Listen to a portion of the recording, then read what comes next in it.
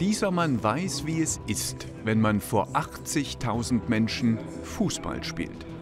Er weiß aber auch, dass man bei einer Buchlesung mit nicht mal 80 Besuchern etwas bieten muss. Ein Langweiler war Lutz Lindemann nie. Die ist eine Katastrophe, die Sonne ist immer gegen mich. Die war schon früher. Wenn ich schlecht gespielt habe, war immer Sonne. Wenn ich den Meier noch mal treffe, wenn er mich kritisiert hat oder irgendeiner, es war immer Sonne oder Wind. Typisch Lindemann. Der Optimist aus Leidenschaft hat zusammen mit Frank Willmann, Journalist und bekennender Karl Zeiss Jena-Fan, sein Leben aufgeschrieben. In Halberstadt aufgewachsen, dreht sich alles um den Fußball. Er kommt zum 1. FC Magdeburg, wird Kapitän der DDR-Juniorenauswahl, doch der Traum ist früh zu Ende. Die netten Dinge des Lebens, die kamen dazu, die waren ja einfach zu erlernen. Wie mache ich mir eine Zigarette an, das war ja einfach. Oder wie trinke ich das Bier äh, in zwei Schluck aus oder in drei. Das hast ja Leute, die, die machen dir das vor. Nicht jeden Tag, aber das waren so Dinge, die, die du dann annimmst und das war ein Riesenfehler.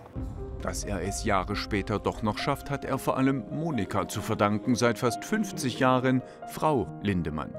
Über den Umweg Motor Nordhausen West und Rot-Weiß Erfurt wird der Mittelfeldspieler nach Jena geholt und gibt mit 28 sein Debüt in der Nationalmannschaft.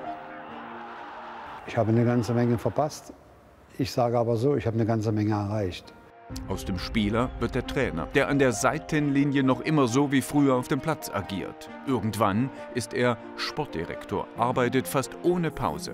Heute ist er als TV-Experte tätig. In diesem Jahr wird er 70. Ich kann also jetzt nicht garantieren, dass ich morgen oder nächste Woche den Schlafanzug anziehe, ziehe die Hose bis hier hoch und warte auf, auf Mittagessen und äh, 17.30 Uhr Abendbrot und 19 Uhr Sandmann und schlafen. Habe ich nicht vor.